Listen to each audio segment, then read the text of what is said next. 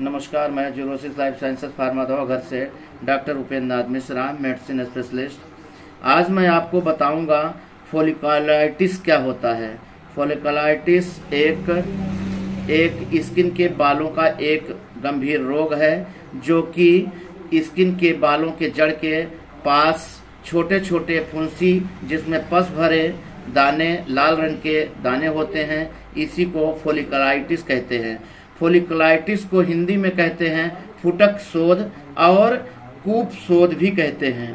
और ये गंदगियों के कारण होता है शरीर पे और ये ज़्यादातर पुरुषों के दाढ़ियों पे होते हैं और दोनों टांगों के बीच में होते हैं। मतलब जहाँ पे आपके बाल हैं, वहाँ छोटे छोटे दाने, पस भरे छोटे छोटे दाने होते हैं। इसी को फोलिकुलाइटिस कहा जाता है। तो फोलिकुलाइटिस का मतलब होता है, इसमें दर्द भी होता है, इसमें जलन भी होता है, और ये जहाँ पे होता है, वहाँ पूरा रेड हो जाता है। इसी को फोलिकुलाइटिस कहते हैं। फोलिकुलाइटिस का मतलब होता है कि एक स्किन का रोग।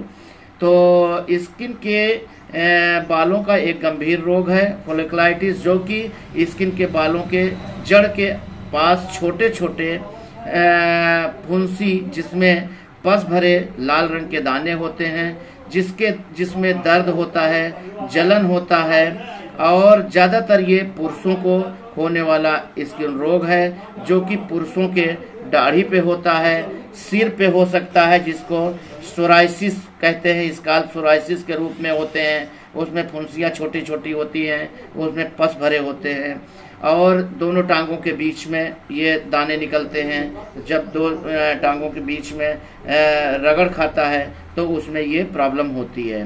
अब आपको बताता हूँ कि फोलिकुलाइटिस बालों के रोम के अगल बगल स्टेफिलोकोकस ओरियस बैक्टीरिया के कारण होता है और फोलिकुलाइटिस एक स्किन रोग है, जो कि बैक्टीरिया और फंगस इन्फेक्शन के कारण होते हैं, जिसमें खुजली हो सकता है, दर्द भी हो होते हैं और फोलिकुलाइटिस वायरस फंगी के कारण भी होते हैं।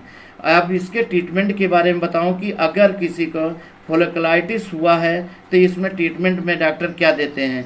ऐसे तो किसी डर्माटोलॉजिस्ट को दिखा के तभी ट्रीटमेंट कराना चाहिए।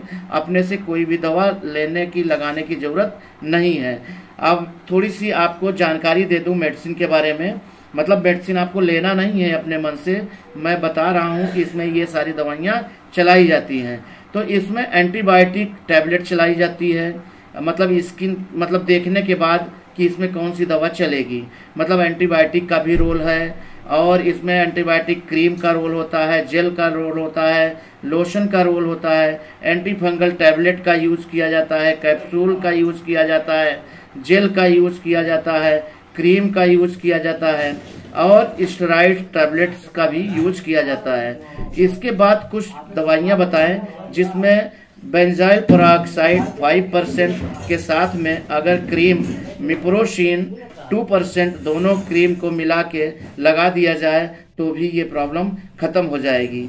इसके बाद रुक्लोनाजोल का भी रोल होता है, जो कि 150 आप अल्टरनेट डे 15 डेज़ कंटिन्यू लेने से आपको फोलिकुलाइटिस खत्म हो जाएगा। इसमें कीटोकोनाजोल का भी रोल है।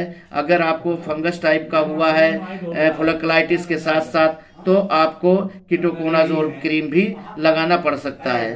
तो ये सब ट्रीटमेंट आपके फ्लोकलाइटिस के लिए होता है, जिसको हिंदी में कहते हैं कूपसोद तो आपको अगर वीडियो अच्छा लगा तो लाइक करिए शेयर करिए, और अगर अभी तक आप मेरे चैनल को सब्सक्राइब नहीं किए तो सब्सक्राइब करिए, और तत्काल इसका ट्रीटमेंट करिए। जय हिंद।